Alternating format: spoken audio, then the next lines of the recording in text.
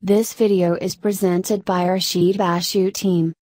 The Dr. Rashid Bashu is the first scientist and gemologist in Africa. Arfvedsonite is a sodium amphibole mineral with composition, Na Na 2 Fe 2 plus 4 Fe 3 plus O2 vertical bar C8O22. It crystallizes in the monoclinic prismatic crystal system and typically occurs as greenish-black to bluish-gray fibrous to radiating or stellate prisms.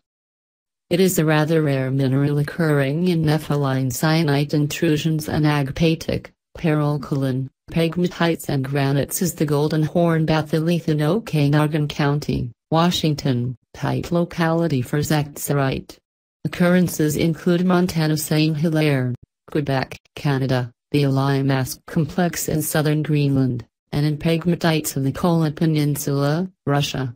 Its mineral association includes nepheline, albite, aegirine, riebeckite, katophorite and quartz. 1. Arfvedsonite was discovered in 1823 and named for the Swedish chemist Johan August Arfwedson, 1792 to 1841.